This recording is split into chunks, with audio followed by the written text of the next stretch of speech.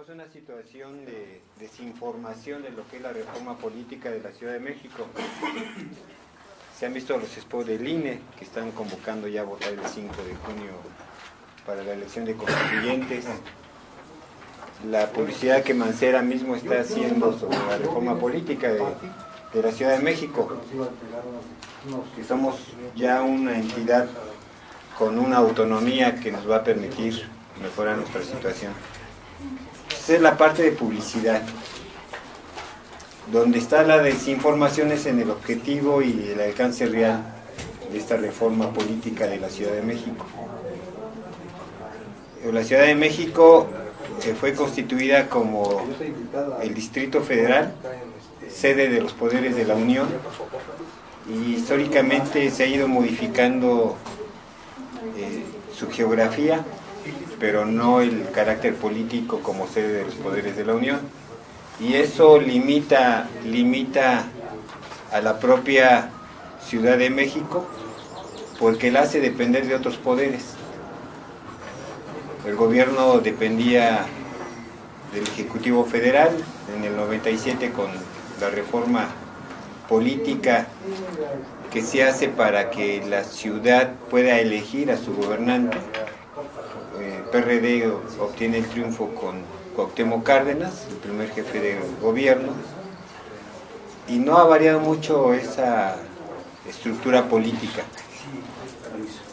Actualmente se dice que con esta reforma política la Ciudad de México es más autónoma.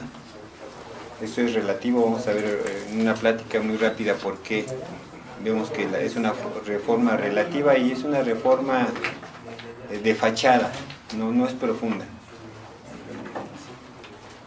Esta reforma política deriva de varias iniciativas que si revisamos las iniciativas de reforma para la Ciudad de México nada tienen que ver con lo que se con lo que se produce.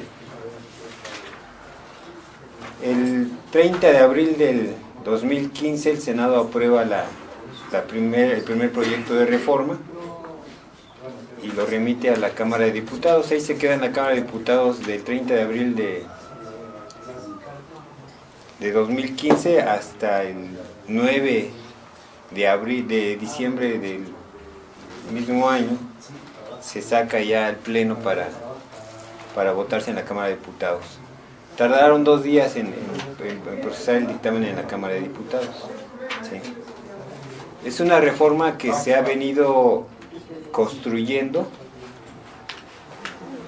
y yo lo digo así, para eliminar a Morena, la fuerza política de Morena, que es lo que no se dice.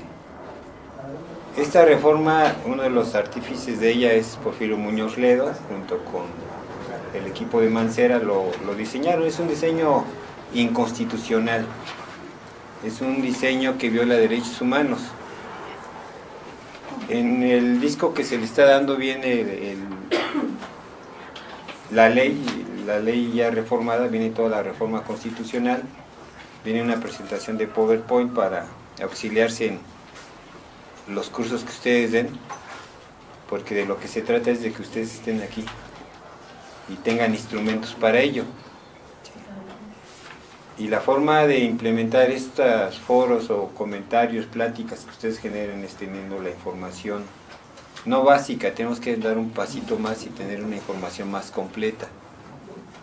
Que la, en el sentido en que nosotros tengamos los elementos argumentativos, discursivos, con los ciudadanos, con los demás actores políticos, es en la medida en que vamos a tener un posicionamiento razonado, que sea creíble, que convenza, que despierte conciencias, porque tenemos la razón al final del día.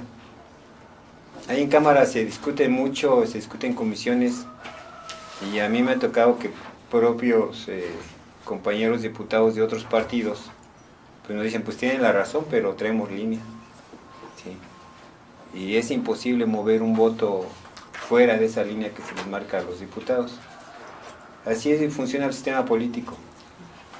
Difícilmente vamos a cambiar esa condición en, en sentido de tener una votación favorable, porque los proyectos están definidos de antemano.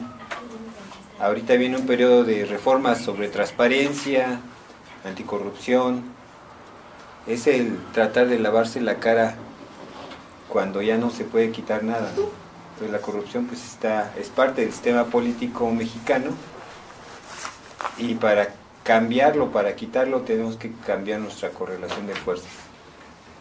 Eh, Morena ha estado, ha estado avanzando,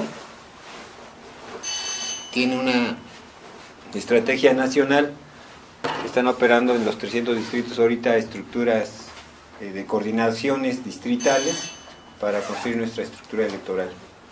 Este, a los diputados federales nos mandaron a Veracruz y Tamaulipas. Yo coordino un distrito federal en Tamaulipas, Ciudad Victoria. Ellos tienen también elección el 5 de junio, eligen gobernador, diputados y ayuntamientos. Al igual que aquí en la ciudad, pues ya está todo trabajándose para construir esa estructura electoral y para participar en las campañas. 5 de junio, elección de diputados constituyentes. La reforma está diseñada para eliminar la, fuerza real eh, de las distintas expresiones políticas en la ciudad. El diseño es integrar una asamblea constituyente con 100 diputados, 100 diputados de los cuales 40 son designados. 60 son electos por representación proporcional en una sola circunscripción que es toda la ciudad. O sea, la votación no se va a hacer por distritos, la votación se hace por toda la ciudad y al final del proceso esa votación va a determinar cuántos diputados asambleístas corresponden a cada partido político o a los candidatos independientes. Estos 100 diputados constituyentes se constituyen en poder constituyente de la ciudad para efectos de crear la nueva constitución o la constitución de la Ciudad de México. Actualmente nuestra ciudad no tiene constitución, tiene un estatuto de gobierno.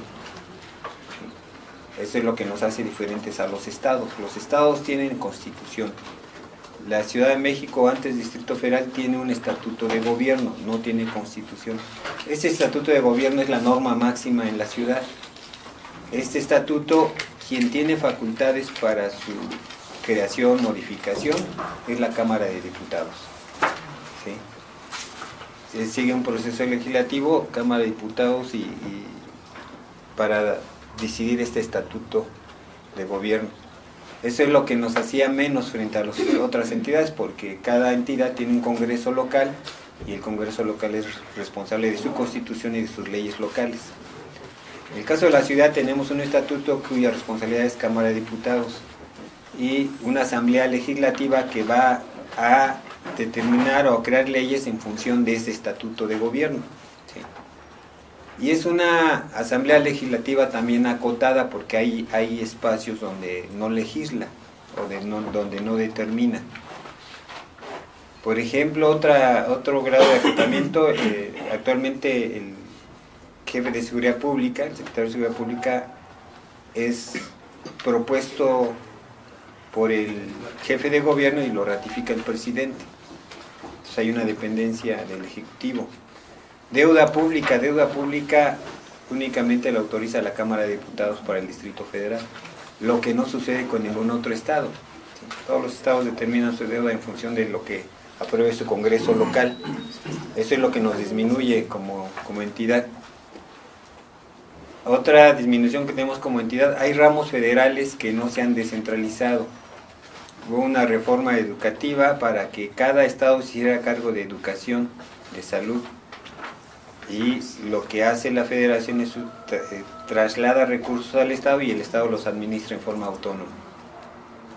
En la Ciudad de México no sucede con el ramo de educación, seguimos dependiendo de la Secretaría de Educación Pública, tiene una coordinación educativa para el Distrito Federal. El Distrito Federal, el gobierno tiene una Secretaría de Educación, pero no, no tiene recursos federales. Los recursos federales los sigue manejando la federación a través de la coordinación educativa. Entonces, eso nos disminuye como una entidad con autonomía.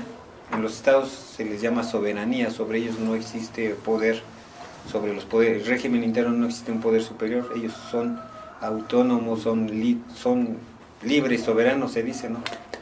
en, el formato, pero la realidad política de vinculación y dependencia es otra. Esta reforma, según pretende eliminar eso, ya está, es una reforma vigente, eh, se promulgó el 29 de enero, entró en vigor al día siguiente, el lunes entró en vigor, el lunes siguiente entró en vigor, y es la que nos rige para efectos de aplicar esta reforma se establecen artículos transitorios. Siempre que se aprueba una ley, para instrumentarla se establecen disposiciones transitorias para hacerla viable. En este caso somos una entidad, no somos Estado, somos una entidad federativa denominada Ciudad de México. Es el cambio sustantivo que tenemos en cuanto a la Ciudad de México. Ya no es Distrito Federal, ahora es entidad federativa denominada Ciudad de México, sede de los poderes federales. O sea, el artículo 122 de la Constitución. Y el mismo 122 determina que la Ciudad de México será un estado de la federación cuando los poderes federales cambien de residencia. Lo cual no, no vemos que vaya a suceder en los próximos años porque hay un costo económico muy fuerte. ¿no? Entonces seguiremos siendo Ciudad de México entidad federativa sede de los poderes de la Unión eh, con esta reforma, el jefe de Seguridad Pública o secretario de Seguridad Pública lo designa ahora, lo va a designar el jefe de gobierno, ya no interviene el presidente, pero el presidente tiene veto. O sea, si no le gusta cómo funciona, lo puede quitar. Entonces, no es, este cambio no es tan radical. Seguimos dependiendo de la autorización de la Cámara de Diputados para deuda pública tampoco es cambio, no se da ningún cambio. Y en cuanto a ramos federales, eh, dependemos de la Federación en Salud y en Educación.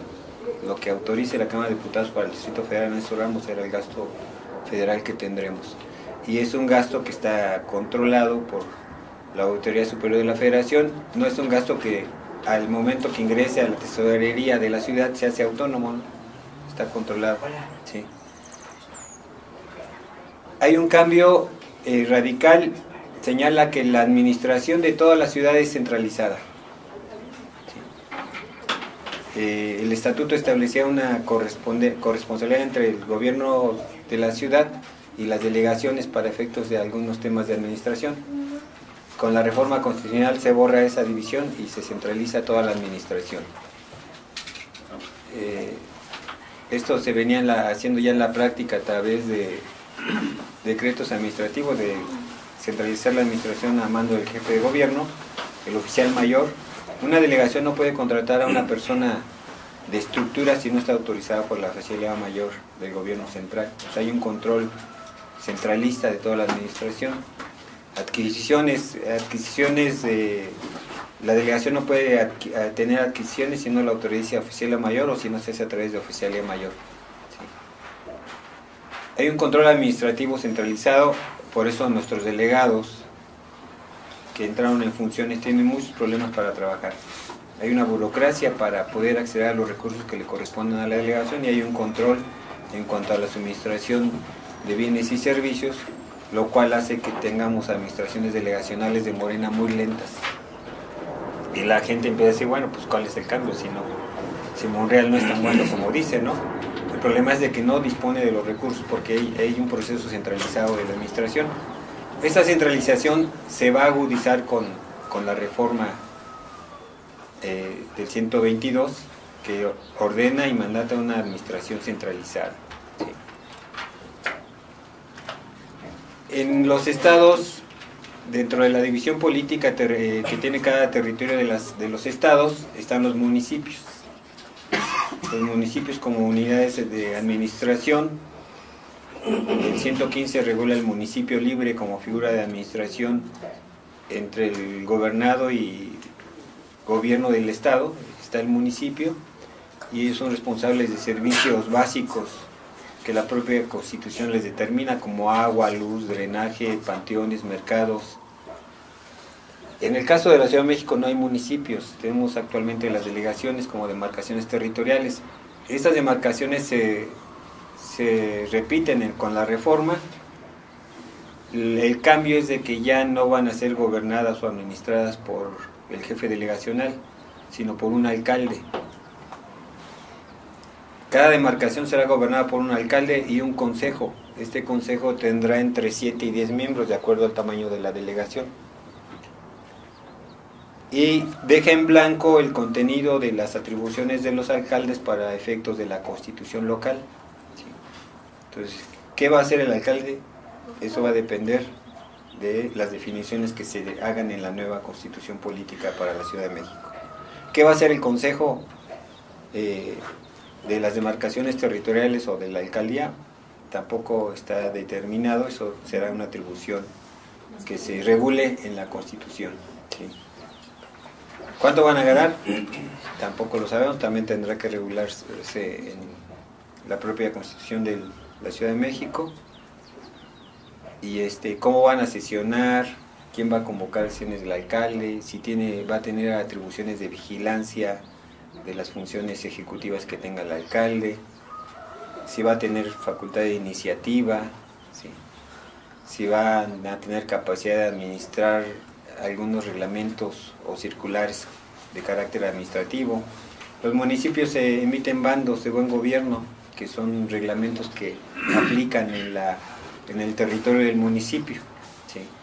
Meten orden, establecen reglas de comportamiento.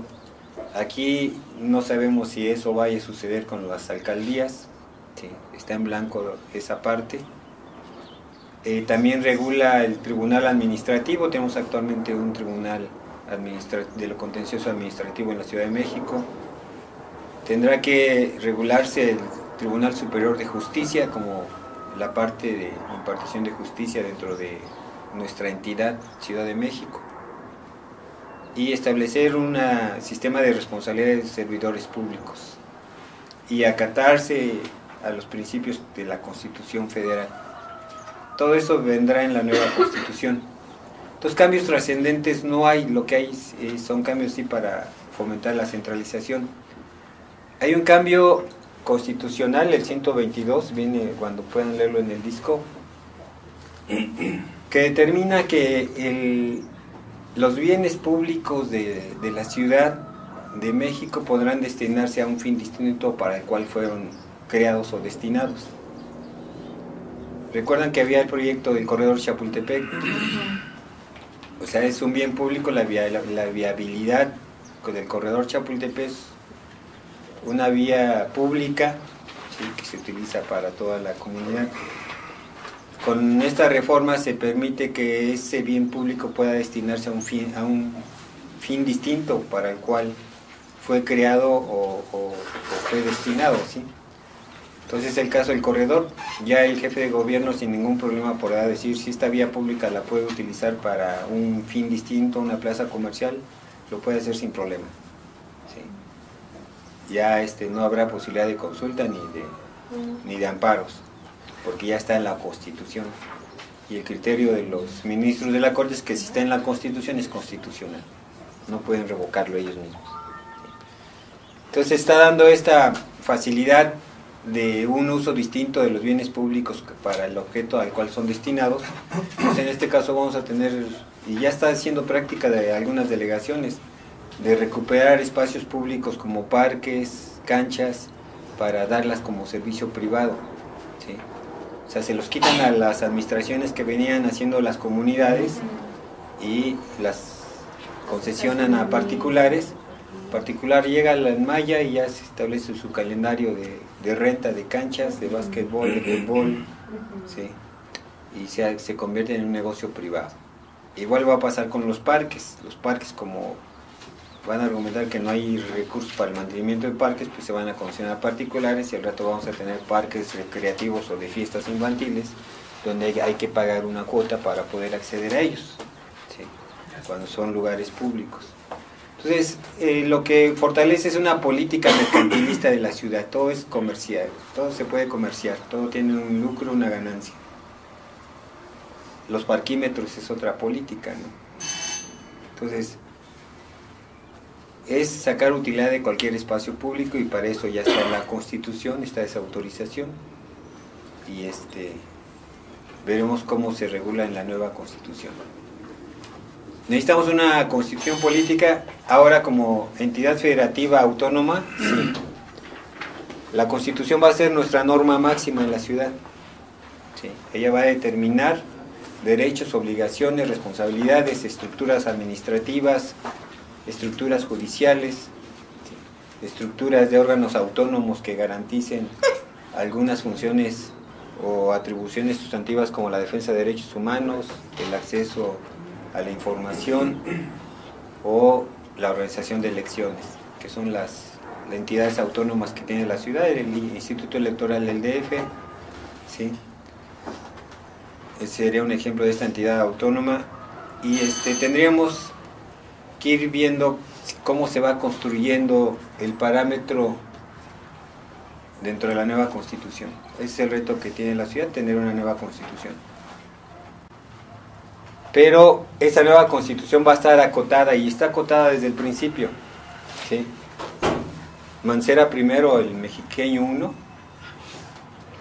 determina cómo va a ser el nuevo o cómo se va a integrar el poder constituyente. En la historia reciente de nuestro país se, se reconocen tres estados. En el 54 se reconoce a Baja California como una entidad, antes era un territorio nacional. Como territorio pues tenía una población y esa población participaba en elecciones federales.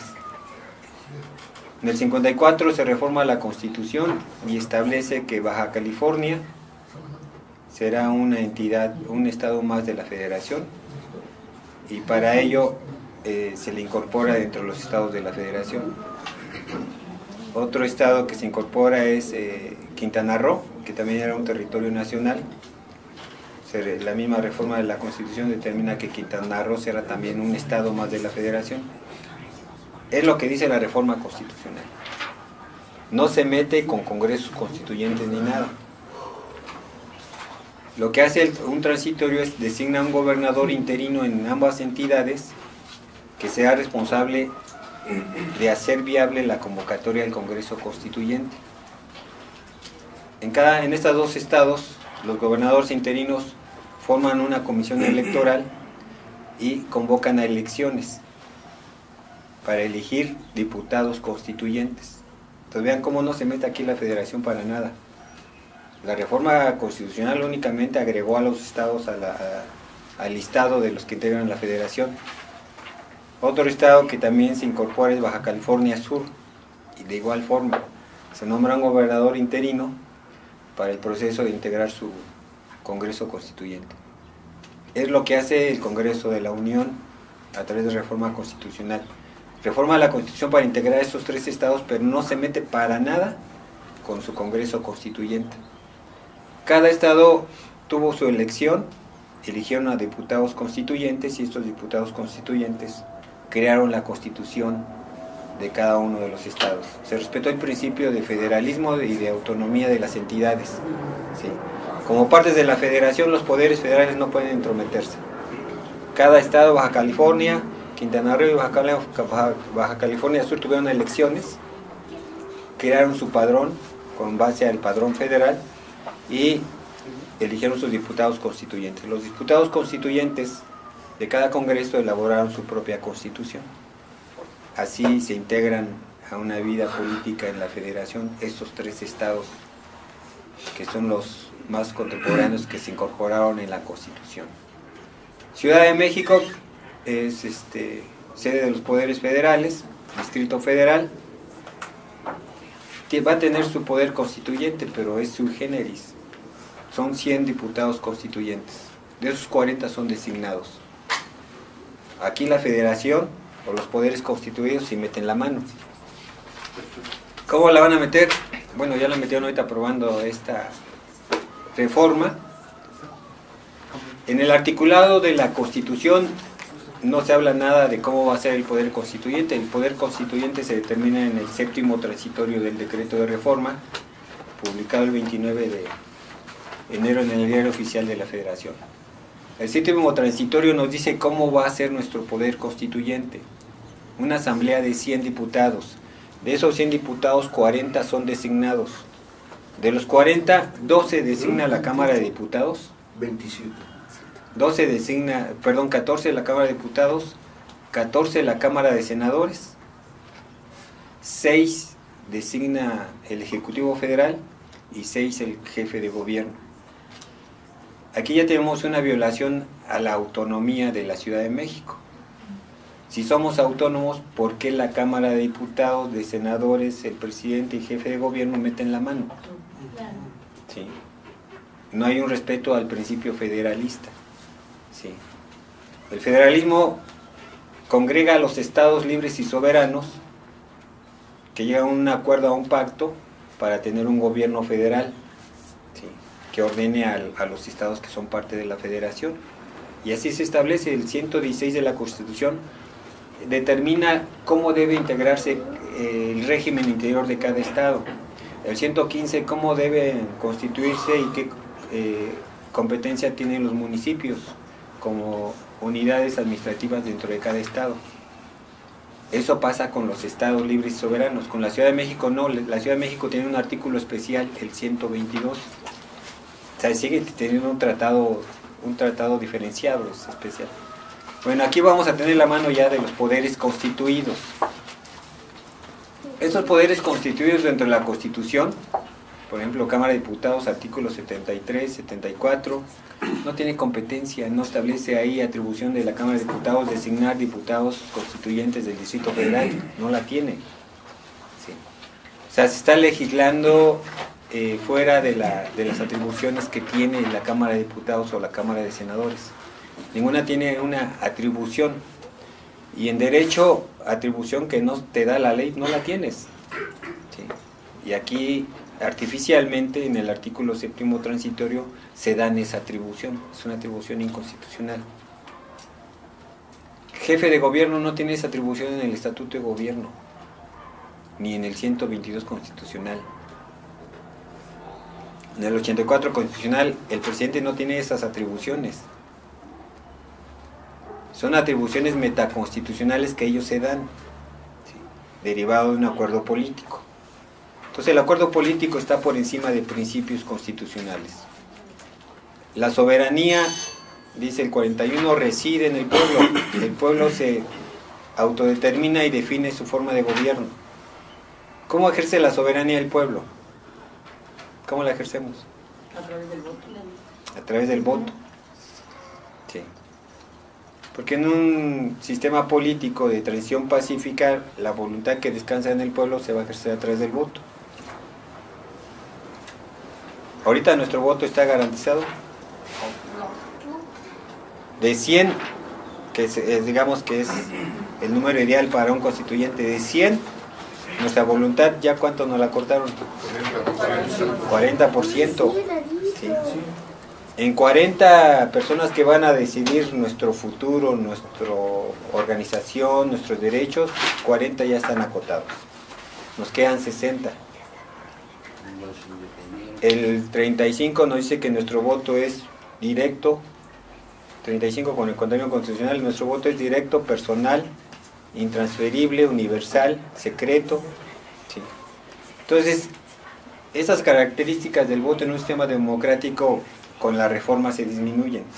Ni es directo, y no es directo porque no elegimos directamente a nuestro representante.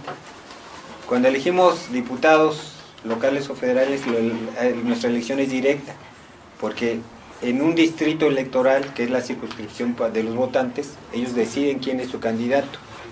¿sí? En este caso es una sola circunscripción la ciudad, no tenemos un voto directo. ¿Por qué? Porque vamos a votar las propuestas que presenten los partidos políticos nacionales. Son los únicos que pueden presentar propuestas. Cada partido político nacional va a registrar una lista de 60 personalidades, 60 constituyentes, y es lo que el ciudadano va a votar.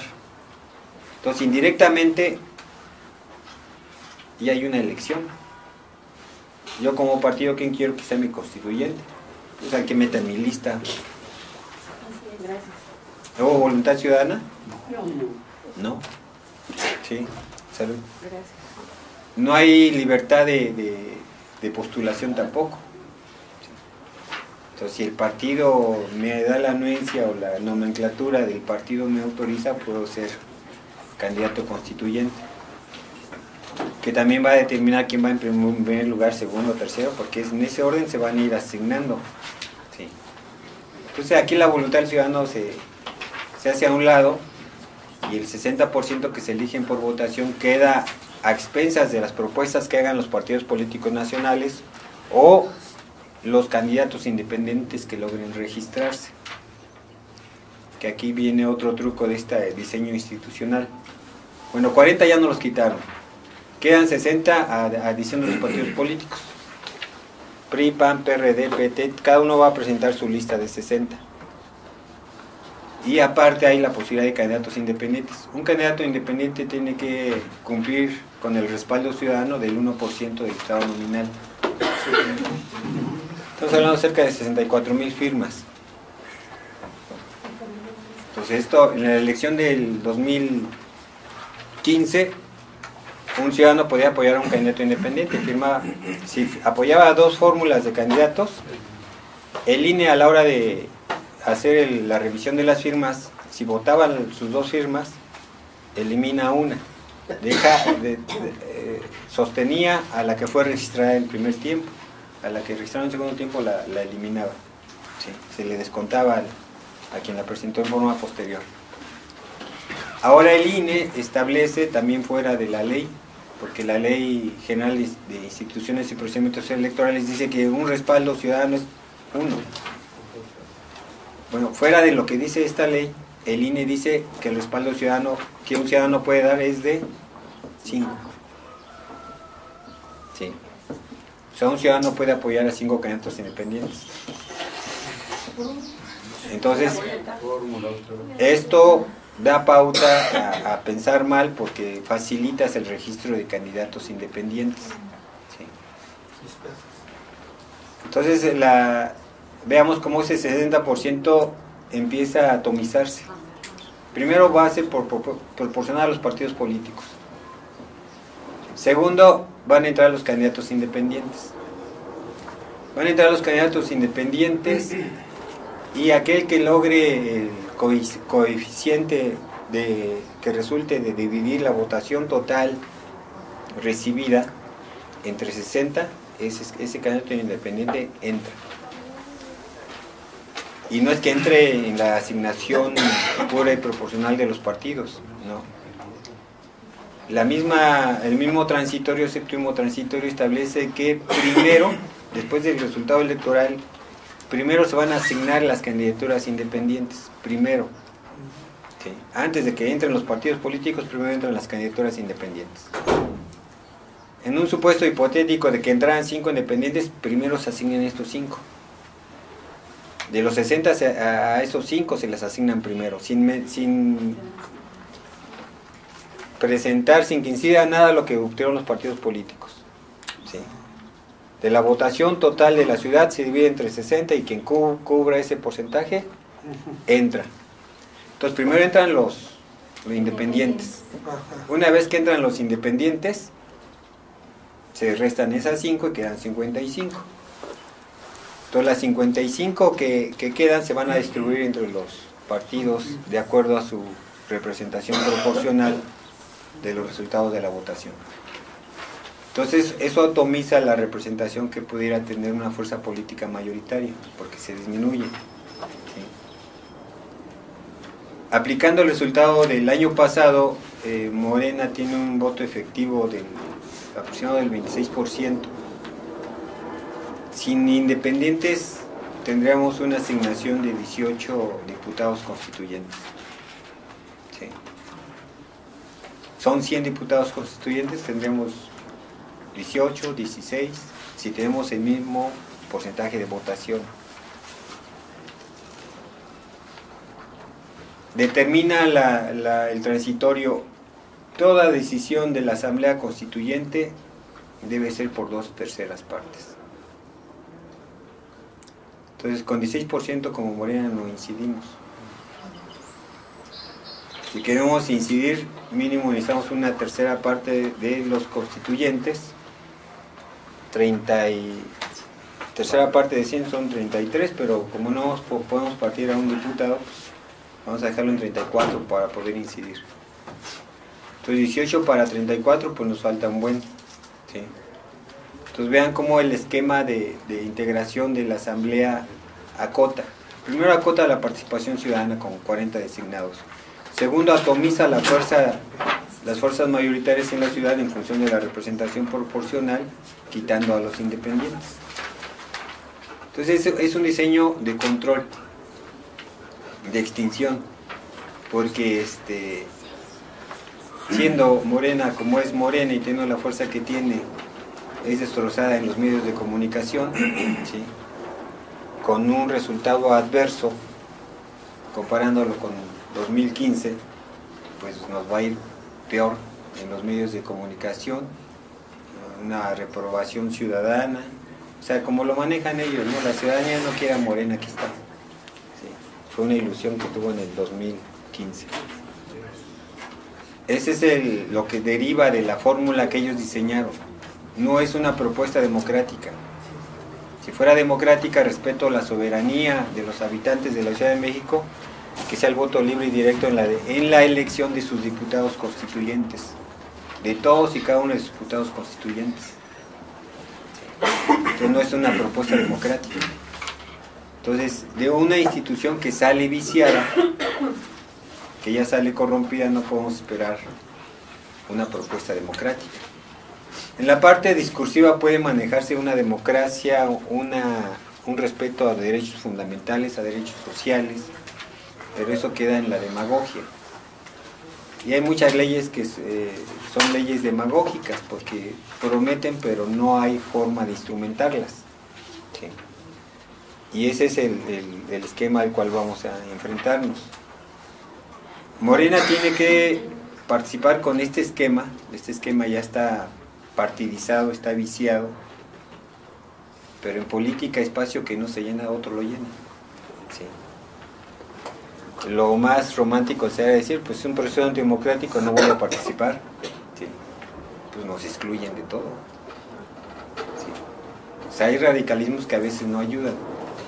Y en este caso no podemos eliminarlos nosotros mismos. Hay que entrarle. Con las, con la, conociendo la, el resultado que podría obtenerse, pero hay que entrarle. Este, todas las votaciones por dos terceras partes esta estructura lleva a, una, a un control del PRI. Vamos a hacer números. Son 14 de, senadores, 14 de diputados, 6 de presidente y 6 de jefe de gobierno. Sumen 6 del presidente, son del PRI. De los 14 del Senado, el Senado ya anunció que 6 son para el PRI, 4 para el PAN, ¿sí? 3 para el dos para el PRD, dos para el Verde y uno para el PT. Pero de los del Senado el PRI se lleva seis. Seis más seis, doce. Cámara de Diputados designa 14. Y la designación es, la Junta de Conexión Política propone al Pleno y el Pleno aprueba. Pero como se toman las votaciones en la Cámara es el, con voto ponderado. Cámara de Diputados, el PRI representa el 44%, más el otro tanto, un 10% que representa el verde, pues ya tiene ahí su mayoría automática. Entonces, pongamos que al PRI le toquen 5 en la Cámara de Diputados. 6 más 6, 12 más 5, 17. Más los que pueda sumar del verde, uno del Senado y uno de la Cámara, 19. ¿Sí? Más los que pueda sumar en, digo, el, el PRD su aliado, entonces el PRD le tocan en, Cámara de Senadores, le tocan tres, en Cámara de Diputados le tocan otros tres, son seis, más los seis de Mancera son doce. Si hay acuerdo entre ellos, tienen el control de la Asamblea, ¿sí o no? O sea, es, una ilusión este proceso constituyente, porque a partir de diputados designados controlas la Asamblea. Entonces no es un proceso democrático. estás imponiendo un esquema donde llevas el control. Entonces, el PAN, digo, todos votaron la reforma. Entonces, hay un acuerdo de fuerzas políticas por eliminar a una que es Morena. porque no nos van a reconocer la representación real que se tiene. Esta intromisión de poderes federales, ¿quién autoriza a la Cámara de Diputados a meterse a la Ciudad de México? ¿Quién autoriza al Senado a meterse a la, Ciudad de México? Los senadores son de las entidades. El Distrito Federal solamente tiene tres senadores, los dos de mayoría, el, el primero de minoría, y si salió alguno de la lista nominal del DF, pues entra. ¿Sí? Que en este, este pero son 14 senadores que van a intervenir. Son de otras entidades. Siendo chauvinistas diríamos, pero ¿por qué entran ellos? Si no viven en la ciudad, no conocen los problemas de la ciudad, no son parte de la solución de esta ciudad. Entonces es un esquema viciado. Entonces Mancera no puede hablar de un proceso democrático en la nueva constitución cuando él es parte de este juego político de controlar la ciudad.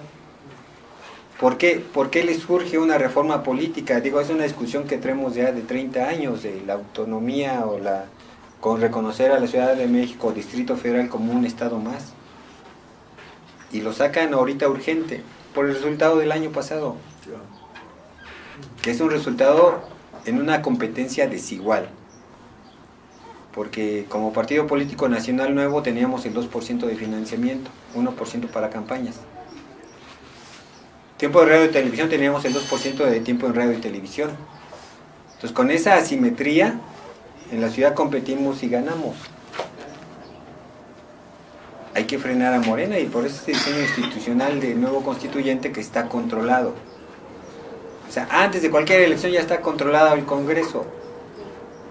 Con los 40 que tienen ya está controlado. Entonces, me llamas a elegir 60 de los cuales me vas a condicionar a los independientes, porque estás flexibilizando la norma de que cinco apoyen, pues agarro al sindicato del metro, al sindicato de los trabajadores de la Ciudad de México, a las asociaciones de vendedores ambulantes. hay mucho corporativo en la ciudad que se utiliza en las delegaciones. Agarro a los beneficiarios de programas de adulto mayor, de uniformes escolares, que que, es, un segmento de población que el PRD a través de las delegaciones manipula bastante, solicitantes de vivienda. Digo, las firmas no es el problema. Y uso la figura de candidato independiente.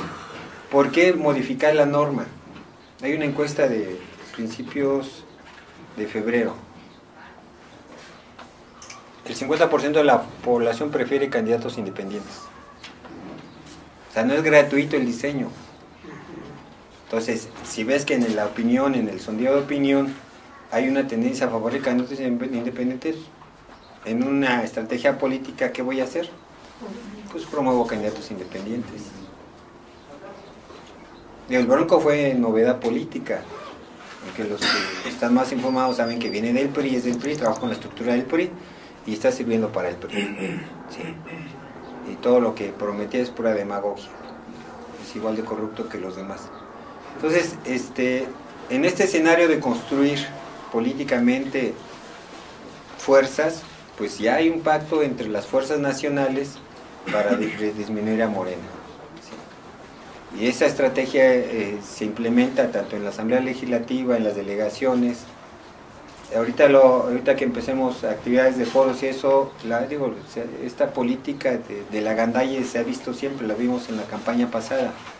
No puedes hacer un mitin en una plaza porque no tenías autorización y que llegaban los del jurídico a quitarte con sus porros no no podías meterte a los tianguis porque no tenías permiso. O no podías pegar propaganda política en los postes porque está prohibido por la, la ley cívica ¿no? Se prohíbe la propaganda comercial, más no la política. Entonces, este, este escenario tiene un objetivo, tiene el objetivo de disminuir nuestra presencia en la ciudad. Y si no lo entendemos, que están actuando colectivamente para disminuir nuestra presencia, y, y, aparte de eso, no es, vamos estableciendo estrategias que nos ayuden a romper su estrategia, pues difícilmente podemos remontarnos. 5 de junio es definitivo para Morena en todo el país. Todo el país porque hay elecciones en otros dos estados, Tamaulipas, Veracruz, Nayarit, Tlaxcala, Quintana Roo Michoacán. Hay elecciones en dos estados, se van a elegir gobernadores, diputados locales y presidentes municipales. Morena está participando solo. Entonces tenemos que crecer en esos estados, tener una presencia política. ¿Podemos ganar? Pues depende de cómo desememos las campañas, cómo lleguemos a articular una presentación de Morena hacia todos los ciudadanos. Y en la ciudad pues tenemos este reto porque es el bastión de Andrés Manuel, de Morena, es el bastión de resistencia de los ciudadanos porque la ciudad se ha distinguido siempre por su vocación de resistencia y de lucha, de avanzada. Eh, Morena designó un consejo asesor para la nueva constitución. ¿Quién fue ese consejo de ustedes? Compañero, ¿quién más? Es que invitaron a puras personalidades. No, no, tuvimos, invitados el público para escuchar la integración. Invitó a compañeros para integrar ese consejo. Yo estaba ahí y vas viendo las caras, vas eh, escuchando los nombres. Había una amalgama de, de historias de lucha política de la ciudad, movimiento magisterial, movimiento sindical, movimiento urbano, movimiento estudiantil, ¿sí? movimiento sindical, estaba todo representado ahí, o sea, hay mucha experiencia en, movilización y resistencia. Ahora el asunto es cómo organizamos a esa masa de, ideas, de experiencias para dar una propuesta. La imposición de, esta reforma política de Mancera se concreta con, la que determina que él es el único que puede proponer proyecto de constitución por si quedaba duda de que no podría controlar a la asamblea, ¿sí? Controlar las ideas también ayuda y él es el único que puede proponer el, proyecto de constitución. Este proyecto de constitución él tiene al 15 de septiembre, el día en que se instala la asamblea constituyente, para presentar su proyecto.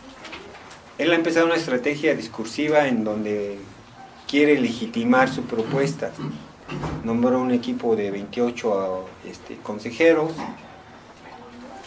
filtró y buscó personalidades que tuvieran una tendencia más de izquierda, los presentó públicamente. O sea, él está construyendo un discurso legitimador. Va a abrir foros, foros conducidos por especialistas, porque él mismo lo señaló, es una cuestión técnica y la constitución es una cuestión técnica que tiene que cuidarse. Por eso va a haber foros ciudadanos que serán conducidos y garantizar esta parte técnica. O sea, es control. Entonces, ese esquema lo trae ese juego lo trae. Va a usar todas las instituciones ciudadanas que tenga a la vista para legitimar su propuesta. En Morena hemos señalado que tenemos que construir una propuesta alterna. Para que la gente decida tiene que tener propuestas. Entonces, en un discurso, ¿cuál es la propuesta de, de y cuál es nuestra propuesta. Va a haber coincidencias, las va a haber porque hay un discurso de protección de derechos humanos que no puede dividirse o no puede extrapolarse posiciones irreductibles. ¿Dónde va a haber puntos de conflicto? Pues donde haya control. Formas de, participación democrática, directas o indirectas. Yo pongo una revocación de mandato él puede asumir que haya revocación de mandato, pero procesalmente será viable o no será viable. No hay una figura que se llama juicio político para servidores públicos. ¿A cuántos conocen que las hayan llevado a juicio político? ¿No conocen ni uno? Yo conozco uno, Andrés Manuel.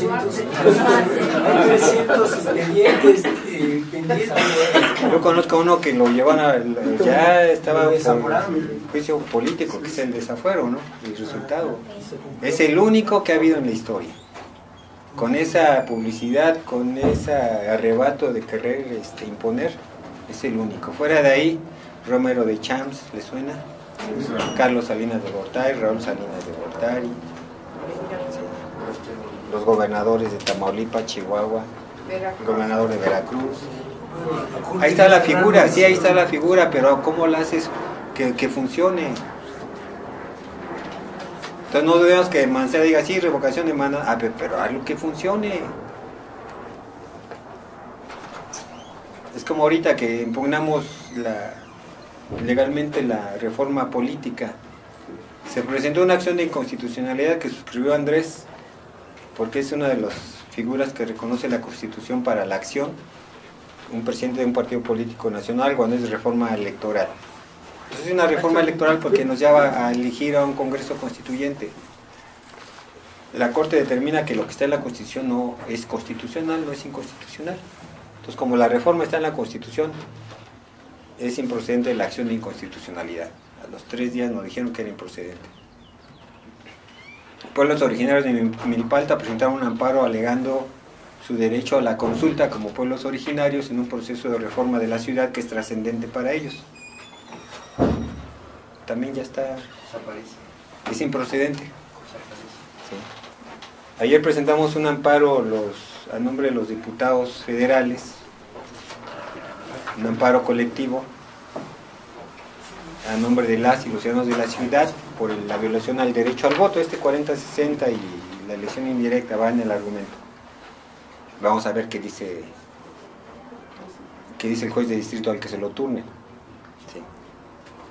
Pero de entrada eh, está el artículo, está la ley de amparo que con la reforma de 2013 determina que es improcedente el amparo contra reformas constitucionales.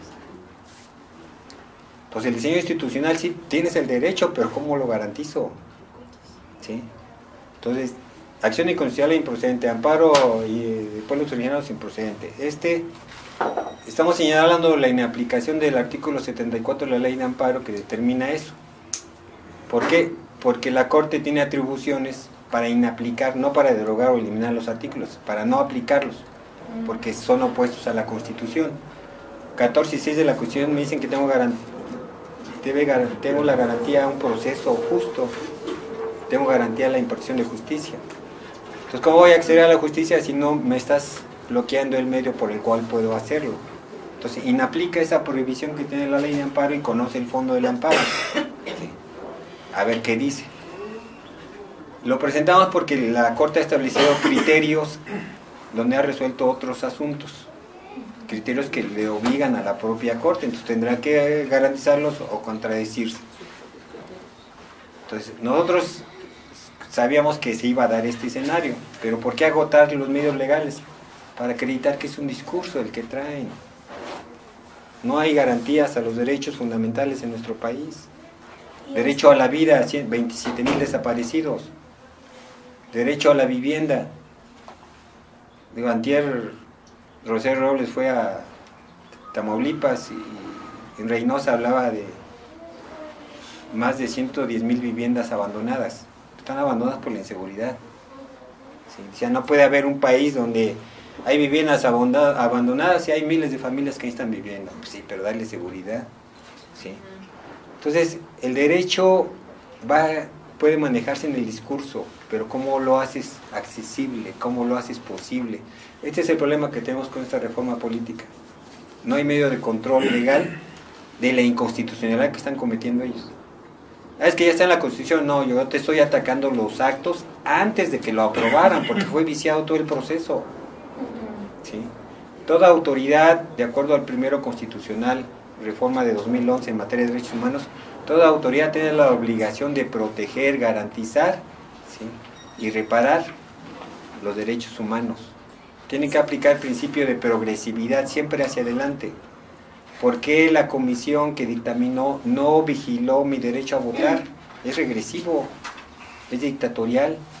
Desde ahí está el vicio, entonces estamos atacando desde el principio. A ver qué nos dice el juez. Perdón. En este caso, eh, yo no soy licenciada, pero considero que no podemos recurrir a las cortes internacionales. ¿Es posible? Sí. ¿Y por qué no se hace? A ver, ¿por qué?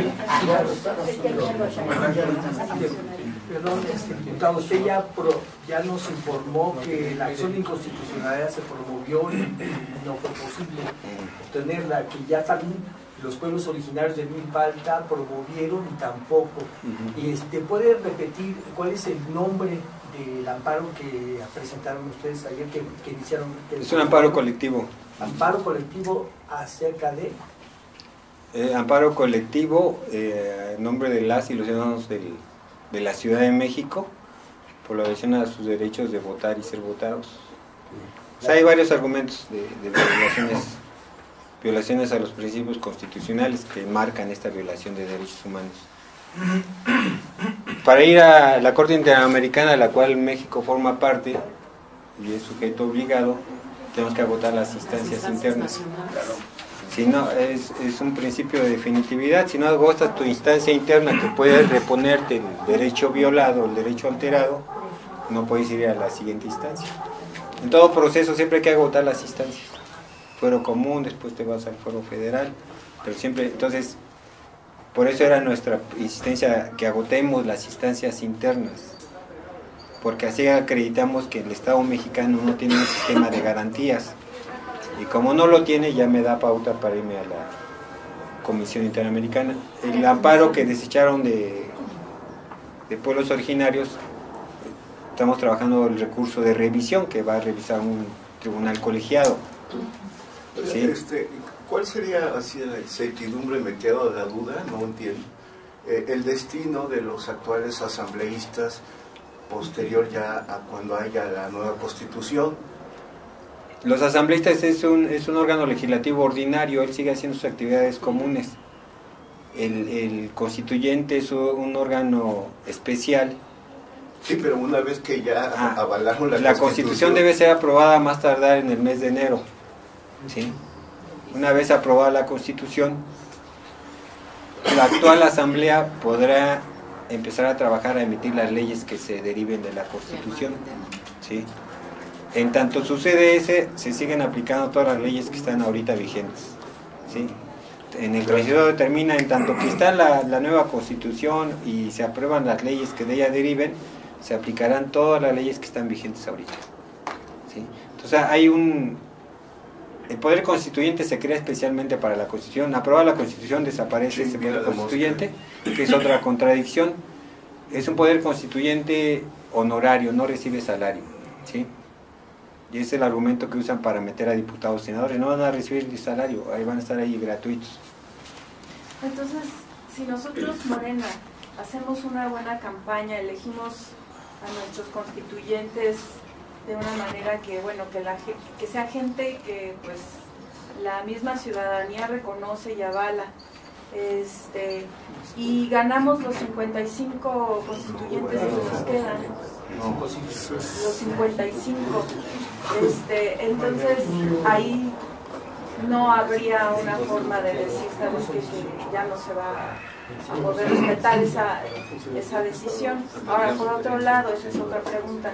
Este, usted básicamente lo que nos está diciendo es que no hay una manera legal de detener esto, ¿no? Entonces, a Morena, ¿qué le queda? O sea, le- nos quedan los ciudadanos, ¿no? Nos quedan los movimientos sociales, nos queda estar afuera en las calles protestando, estar ese día ahí afuera este, manifestándonos. Eh, esto, en su experiencia, ha tenido peso real estar afuera, porque bueno, yo, nosotros yo creo que la mayoría que estamos aquí asistimos cuando Martín nos convocó a lo de la Asamblea Legislativa, que era la cuestión esta de las protestas por todo lo que no le dieron a Morena como mayoría, este, pues al final de cuentas no se logró nada. Entonces, me gustaría saber su opinión al respecto. A ver, para ir- Este, sí, eh, la compañera, el compañero perdón, preguntó sobre el estatus y la permanencia, hasta cuándo eh, permanecerán los actuales, vamos a decir, representantes en esta ciudad que integran la Asamblea Legislativa. ¿Hasta cuándo? Preguntó. Este, yo pregunto, después de que ya se haya aprobado la Constitución, bla, bla, bla, se tendrá que nuevamente convocar a elecciones para que se integre este, los que ahora van a ejercer esa constitución o, habrá procesos similares al que llevó a la integración de la actual Asamblea Legislativa. Este, porque esa podría ser, eh, en relación a la pregunta que, que es este, fechas fatales y ya es eh, imposible modificar esto, ya se colaron lo- con este proceso de 60-40 y la forma de integración. Este, entonces, ¿habrá posibilidad de, para la integración de una nueva bancada este, a futuro cuando salgan estos asambleístas de Asamblea Legislativa, de poder recuperar este, la presencia de ese 26% que usted mencionó, que nos permitiría solamente en apego a ello, ¿verdad? Si tuviésemos esa presencia, alcanzar 18 diputados, 18 constituyentes. Muy bien. ¿Sería otra? Sí. yo, pregunta sería si se ha considerado el tiempo eh, de, de, agotar todas las instancias internas para llegar a las instancias internacionales antes del golpe. Eh, o no importa que, que, que, ya se ha dado el golpe y se perdón, se pueda llegar a las instancias internacionales que puedan apoyar o, en determinado momento este, anular ese gol. Sí, ya nos planteaste la panorámica, ya la sabemos cómo está, que está sumamente difícil. Eh, legalmente creo que va a ser un palo muy fuerte y creo que lo que nos queda de aquí para adelante es no nada más Morena, sino integrar a todos los movimientos sociales independientes que hagan un frente común, una alianza muy grande y que todos intentemos por la vía legal alcanzar el objetivo. Entiendo que va a ser muy difícil y por lo tanto habría que prepararse también a una movilización social, movimientos ya este, pensando en, revertir, si no por lo legal, sí por la ciudadanía y por el derecho que nos asiste, como darnos el gobierno que queremos. Entonces, yo creo que también tenemos que ir atacando las dos, las tres también, porque estamos hablando de Morena. Yo sugiero que Morena sea más humilde y que integremos a todos los movimientos sociales que hay y, y vayamos a la lucha en eso y si no, también preparar un segundo round que sería el movimiento ya social. Perdón, perdón, compañero. Esta parte que están comentando la compañera y el compañero es parte del ejercicio que vamos a hacer. Por favor, todas las dudas estaría, están muy bien, pero las propuestas es lo que vamos a hacer después. En la parte talleril, pues. ¿sí? Pero bueno, eh, disculpen la este, Yo tengo una, bueno, dos, dos preguntas. La primera es que mm, tengo la idea de que quién implementó este, este esquema de de, los 100, bueno, a lo que pienso yo que es este, los senadores, el Congreso, los que diseñaron eso. ¿no? Eso lo, lo aprobaron, pero fue un, un acuerdo político. Ah, ok. Era Peña Nieto. Y la otra es que, este, que ahí dentro de lo que se ha informado dice que la Asamblea Legislativa va a ser, se va a convertir en el Congreso local y, que va a tener la facultad de, pues, de modificar esas leyes, ¿no? Que se aprueben, pero no sé hasta, hasta cuándo sería eso. Eh, ¿Hay otra? Sí, dos preguntas. Una, ¿hay algún proyecto ya de redacción de constitución por parte de Mancera? Y si existe, este, ¿en qué parte en qué parte se está planteando esto, lo del espacio público, porque es muy importante eh, para nosotros difundirlo, que sea un, como un bastión de contrarrestar esta situación. Y la otra, yo no sé si Morena se está planteando, ya bajo este esquema que estamos viendo con los independientes, lanzar también candidaturas independientes a través de los movimientos sociales, los, qué tan conveniente sea. Bueno, bueno yo eso lo vemos duda. Por lo que nos acabas de narrar y de lo que, y de lo que en medios de comunicación pues, se ha recibido, no de todos, pero hay algunos que tratan de decir la verdad, eh, desde mi punto de vista, creo que este, esta próxima elección del 5 de julio, eh, Morena la tiene perdida, la tiene perdida el pueblo.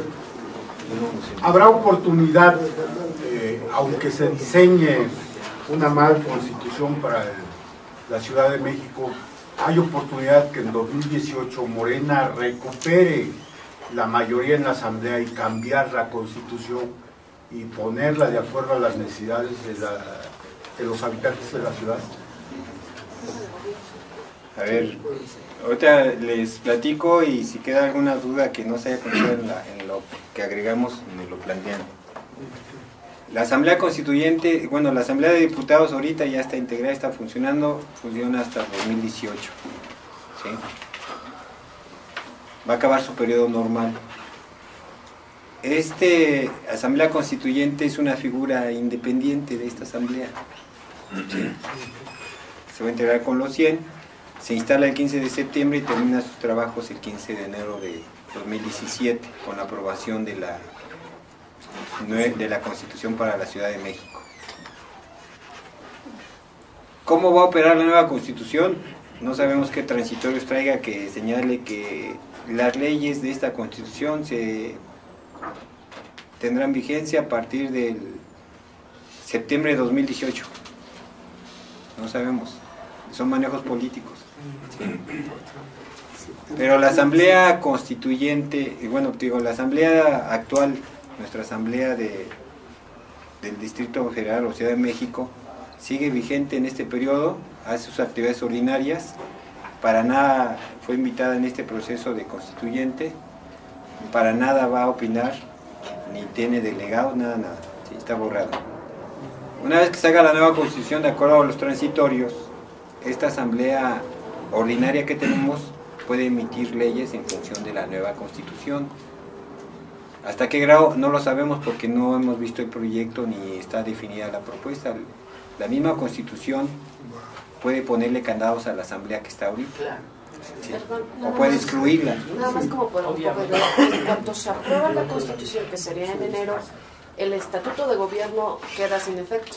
Queda sin efecto. Habrá un transitorio que diga que se sigue aplicando el estatuto de gobierno en tanto no se desarrolle aprueben las leyes que van a regular las funciones que regula el estatuto o las competencias. O sea, los transitorios sirven para muchas cosas. ¿no?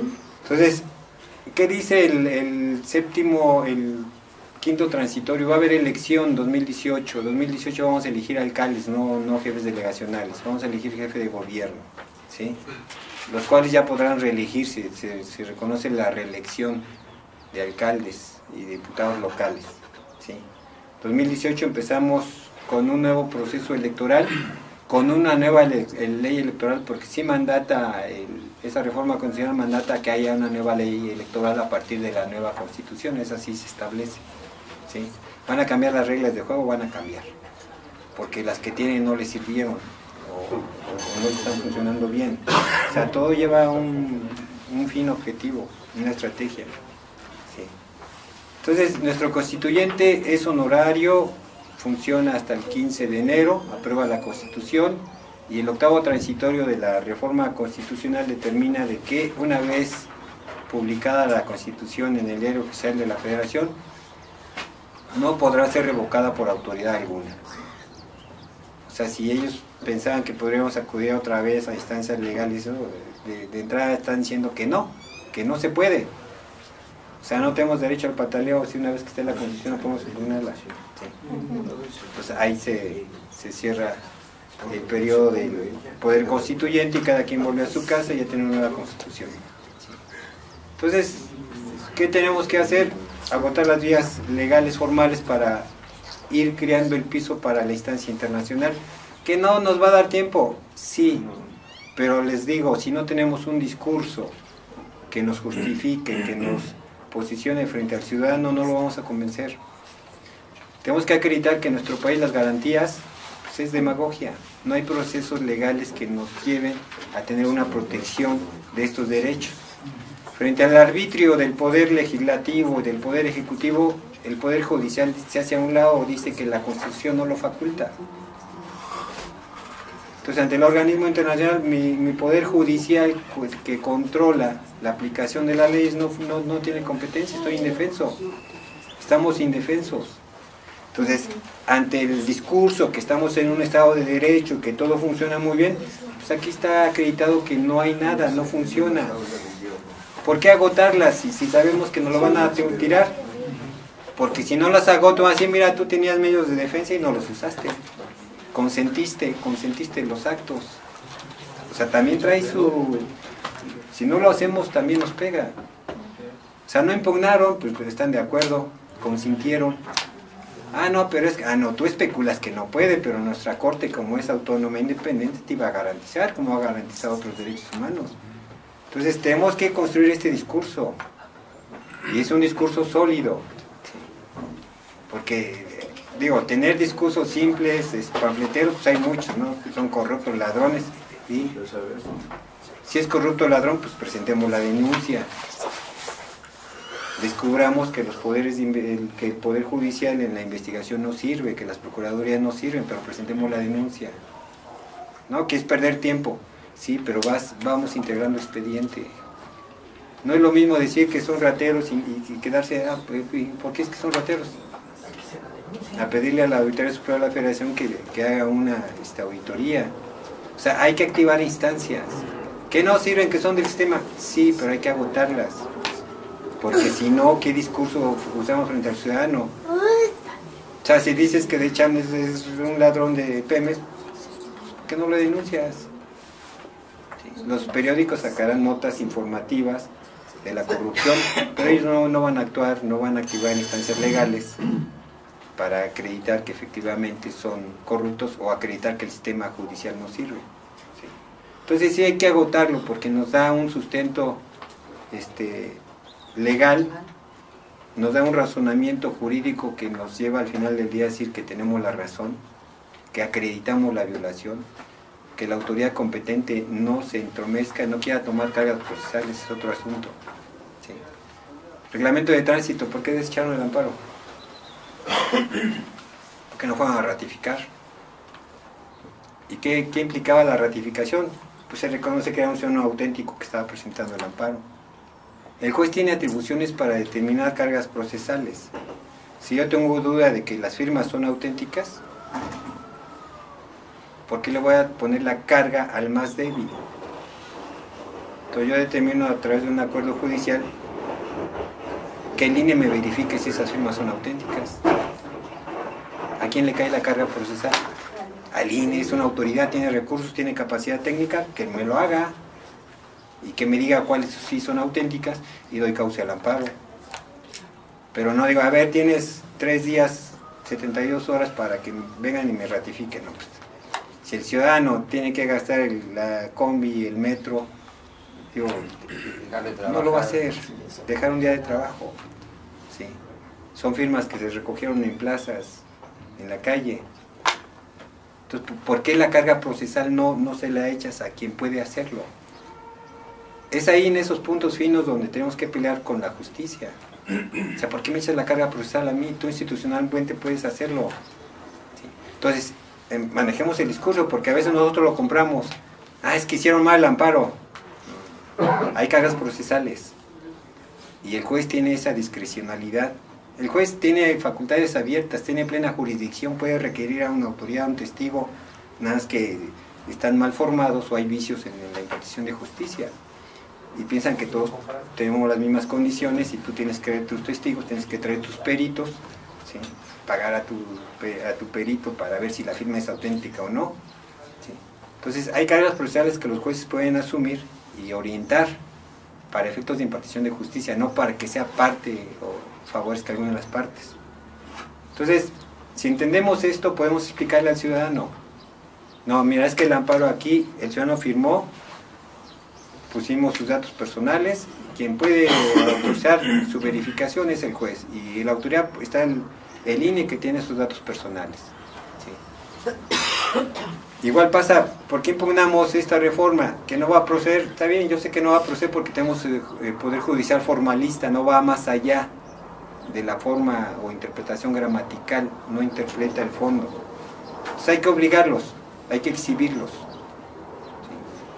Y eso tenemos que hacerlo en todos lados, estamos en un sistema que no nos garantiza y tenemos que cambiarlo. Que el esquema no nos favorece, por eso estamos ciertos que no nos favorece, no nos vamos a engañar ni vamos a engañar a los ciudadanos. ¿sí? El esquema es este. ¿Lo podemos romper? Sí, con la participación de ustedes. Mientras más votos haya, el umbral de lo imposible lo trascendemos. Mientras más participación ciudadana haya, este diseño institucional absurdo, antidemocrático, dictatorial, lo, rompemos. Es una cuestión de resistencia ciudadana. vas a votar con una disminución de tu derecho al voto. No decides 40, yo ya lo decidieron. Ayúdanos a imponer tu voluntad. Sí. Tú, tus familiares, tus amigos nos pueden ayudar a trascender esta imposición. Y trascender la imposición implica que dupliquemos nuestra votación. Implica que trabajemos ya en la organización de nuestra estructura electoral, porque hay, hay, otra parte que también nos agravia, la autoridad electoral, el INE. El INE flexibiliza cinco firmas de aval puede emitir un ciudadano en contra de lo que dice la ley. La ley dice que una sola firma. ¿De dónde legisla el INE? Ya resolvió y dice que es legal. El tribunal ya resolvió y dice que es legal. Es el absurdo de las instituciones, ¿no? O sea, contradicen sus propios criterios. Con eso puedes votar seis veces, por cinco independientes y uno aparte uno de partido. No, designa cinco independientes en apoyo, Es que sí pero el espectro de, de- de- de atomización de la representación se, se- es mayor. Sí. Todo se disuelve. El artículo 41 de la Constitución dice que el financiamiento público para partidos políticos y tiempos de radio y televisión sigue un principio. 30% en forma igualitaria y 70% en función de la votación. Eh, Así se aplica en todo el país. ¿Qué decide el INE para la elección del DF o de la Ciudad de México? Todos parejos, parejos. Dice, como es un acto sui generis donde es la democracia prevalece, todos iguales. Financiamiento público, 10 millones para cada partido político nacional. PANAL, Partido de Encuentro Social, Partido del Trabajo, Humanista. tienen el mismo trato que Morena en la Ciudad de México. Sí. Partido Humanista, no, pero allá, este, Encuentro social. o sea, tienen el mismo trato que los demás partidos. O sea, si el PRI estuviera dominando la ciudad, pues sí aplica el 30-70, ¿no? Pero como es Morena, todos igual. 10 millones para cada partido político. Si se aplicara en función del 30-70, Morena subiría como a 30 millones. O sea, tendría aún más recursos para campaña. En, en función del principio constitucional. Pero ¿por qué INE hace una excepción de ese principio constitucional? ¿Quién lo faculta? Es- no- ellos no son legisladores. Igual en tiempos de radio y televisión. 30, 70, 30 eh, distribuido, 30 por, si son 100 minutos, 30 minutos se distribuyen igual para todos y 70 en función de la votación. Igual Morena va a tener el mismo tiempo en radio y televisión que el Panal, que el Verde, a pesar de que somos la fuerza mayoritaria en la ciudad. No se respeta ese reconocimiento de la fuerza política. Entonces estamos ante una política discriminatoria de extinción. O sea, te voy a eliminar, te voy a quitar los elementos que pueden apoyar tu política partidista. Te quito la, distribución 30-70. Y ahora el, el- pautado lleva un orden. El orden es en función de la fuerza política. Pues tampoco ahí vamos a tener ese orden. El orden es en función de la antigüedad de partidos políticos. Entonces, PAN, PRI, PRD, Verde. O sea, nos relegan de nuevo. Pero eso no lo ve el tribunal. Esas son las condiciones en las que vamos. La estructura electoral va a ser la estructura federal, 27 distritos electorales federales que van a operar la elección en cuanto a ubicación de casillas, integración de mesas directivas de casillas, recolección de resultados electorales, ¿sí? de cómputos distritales que después se hará un cómputo central. Esa es la estructura que como Morena tenemos que cubrir, 27 consejos distritales. Ya hemos tenido reunión con los representantes, este, tendrán que aplicarse, tenemos que romper las líneas que nos impiden llegar la información a los ciudadanos. Ahorita ya están aprobando la ubicación de casillas. A esa, esa propuesta de ubicación de casillas podemos hacerle observaciones, pero los compañeros en el Consejo Distrital no van a hacer observaciones si los compañeros en los comités, en las colonias, no informan dónde está mal ubicada la casilla, este, dónde está en un domicilio particular que, que es de perredistas o de funcionarios de la delegación. ¿Sí? Cuando publiquen la lista de funcionarios de casillas, necesitamos ubicar quiénes son, dónde viven, para ver si son funcionarios de la delegación, si pasaron, estos ciudadanos cumplieron todo el filtro de imparcialidad, que es la insaculación, el haber sido invitados, haberse capacitados, haber sido evaluados y dentro de los evaluados los mejores para ser presidente o secretario de Casillas. Este proceso administrativo la izquierda nunca lo cubre, no se aplica, no se da espacio para ello o no tienen la capacidad para hacerlo. Con la experiencia del año pasado tenemos que cubrirla. Gustavo Madero la perdimos porque no cubrimos todas las casillas. ¿sí? Hay falta y falta mucha humildad para muchos compañeros que a veces piensan que controlan el mundo, pero no. ¿sí? Hay que sumar y a veces la miopía política no nos lleva a sumar. ¿sí? Esa perversión en la formación política de formar grupos, formar tribus, vicia, rompe consensos, rompe construcciones colectivas. Entonces tengo que quitar eso porque si no, estos políticos miopes que tenemos nos van a estorbar mucho. ¿sí? Y hay mucho compañero que tiene esa visión miope. Si no la cambiamos, no es que, arriesguemos un proyecto personal, tendrá sus aspiraciones personales, es legítimo. Lo que no es legítimo es echar a perder un proyecto nacional. Nos estamos moviendo en todo el país. Ayer estaba, ayer, antier estuve en Tamaulipas con Andrés Manuel, le tocó recorrer esa zona. Yo soy responsable del distrito 5 con cabecera en Ciudad Victoria. Es una zona muy conflictiva. Tuvimos el 2.8% de la votación en Tamaulipas en la elección federal. Los municipios a los que fuimos son los dos, en el recorrido con Andrés, los dos primeros son municipios pequeños. Ahí tuvimos un voto en cada municipio. Sí. Andrés estaba feliz porque dice, pues ya, ya al menos van a duplicar la votación. porque el primer evento tuvimos como 40 ciudadanos, en el segundo unos 80, en el tercero ya eran casi 700. Pero él está movido, o sea, es un proyecto nacional y él le leyó la cartilla a los candidatos porque hay mucho ruido con las candidaturas. Esas visiones miopes, eh, ahorita tenemos candidatos que yo sé que no van a aguantar la campaña porque esperan que el partido les dé. Y es lo primero que preguntan, ¿cuándo me van a dar el dinero para la campaña? Pues, ¿cuál? Digo, por experiencia no te va a dar nada, ¿sí? pero sí vas a tener que meterte se querían subir a la rueda del caballito, pues ahora aguántense. Porque van a tener que visitar mínimo 100 casas por día, desde ahorita. Entonces, tienen que olvidarse de su trabajo, de sus actividades, para aplicarse a tiempo completo. En el último municipio nos tocó la intervención o eh, unos compañeritos de un grupo armado que, que opera en la zona desde que llegamos pues, los detectamos y pusimos medidas de seguridad para cuando llegara Andrés. Montaron un sonido paralelo al nuestro. Y cuando intervino el liceo quisieron intervenir a fuerzas. Nos resistimos ahí, pero como ya estábamos haciendo mucho ruido, pues Andrés interrumpió su participación para que nos calláramos, pero ya era la imposición de estos amigos.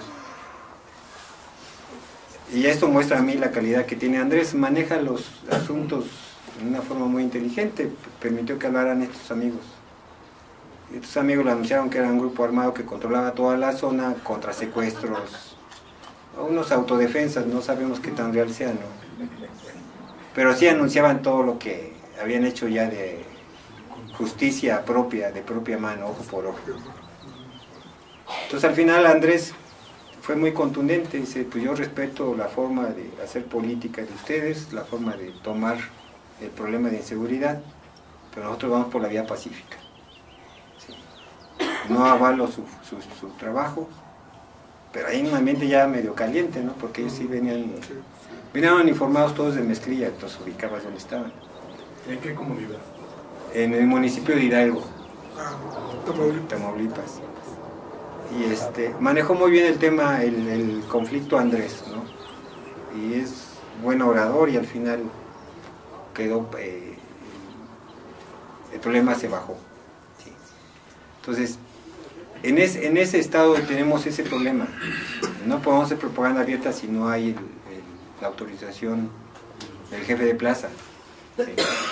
Ya están definidos por quién van a votar, porque los mismos ciudadanos nos informan que ya les dieron línea por quién votar. O votan o votan. Es una política de terror que hay en el país. Entonces, si tenemos políticos miopes, nos van a estorbar nada más. Debemos entender que es un proyecto nacional. Y si no abonamos a este proyecto nacional, no solamente podemos perder la ciudad. En 2015 decíamos, faltan tres años para la buena, 2018. 5 de junio es la evaluación ciudadana para nosotros en la ciudad. ¿sí? Yo mañana tengo evento en Parque del Mestizaje, nuestro foro ahí de, delegacional de Morena. ¿sí? Entonces, ¿qué cara vamos a dar? Ahí tenemos bastantes diputados, tenemos tres federales y cinco locales de Morena. Digo, la, la delegación la perdimos por estas visiones miopes, no cuidamos todas las casillas. Gustavo Madero. Sí, la gana. Sí. Y, y- y no somos capaces de, de- de- de asumir nuestra responsabilidad, una autocrítica, ¿saben qué fallamos? Sí, sí hicieron trampa, compraron, coaccionaron, manipularon, sustituyeron presidentes secretarios de casilla, dentro de los capacitadores había funcionado de delegación, pero hay que denunciarlo, hay que acreditarlo y asumir nuestra una forma autocrítica, si no, no crecemos. Estamos obligados a crecer, créanme. La expectativa ciudadana es mucho mayor que nuestra propia capacidad. ¿sí? Entonces, la ciudadanía no puede verse frustrada por visiones miopes que tengamos, ¿sí? mezquinas o egoístas. Tenemos que empujarle, porque la ciudadanía nos está reclamando. Ella nos dio su voto a pesar de todo y contra todo, a pesar del gobierno de la ciudad, de los gobiernos delegacionales, nos dio su voto a pesar de los ambientes de amenazas. Gustavo Madero en mi distrito hay zonas comerciales, los empresarios, varios ya han cambiado de delegación por la corrupción que tiene el Lobo. Varios me decían, no, no, te apoyo, pero no puedo poner tu lona porque me viene y me clausura. Sí. Si pongo volantes tuyos en mi mesa, vienen y me clausuran. Sí, esa política de terror, es zona panista, mi distrito es zona panista, Linda Vista, la industrial, la Vallejo, es zona panista. Ganamos ahí, pero tenemos que posicionar a Morena y a Andrés. Sí va arriba en las encuestas, es un liderazgo que yo reconozco, sí, y es un liderazgo que he visto cómo trabaja. Pero si no lo posicionamos en la colonia, con el volante, con el periódico, con la reunión del comité, no aterriza esa encuesta. Andrés gana las encuestas, hay que hacer lo que gane en la colonia. Y es únicamente con el volanteo. Bien, ese es el esquema de este proceso electoral. Está muy acotado, febrero, marzo, abril, mayo. El 5 de junio es la elección. Nos quedan, enero, nos quedan tres, menos de tres meses ya. Y tenemos que apresurarnos, construir nuestra estructura electoral prepararnos ya abiertamente para el periodo de, campaña, son empieza el 18 de abril las campañas, ¿sí? y activarnos, en serio compañeritos, tenemos que atender este esta confianza que nos da la ciudadanía. Yo estoy, Mancera llegó con el 65% de los votos, uno de los más altos, de los más votados, y ahorita está como por 18, ¿sí? Entonces, si hubo esa respuesta ciudadana en una ciudad que trae una trayectoria de lucha, activando, informando, haciendo reflexionar, haciendo ver la realidad, porque los porros de, del PRD van a estar en todos lados. O sea, ellos ya no hacen política, son, son criminales ya, violentan. Entonces tenemos que ver ese escenario también y no, no apachurrarnos, hay que empujarle eh, pues agradecemos eh, la, la, la, brillante exposición.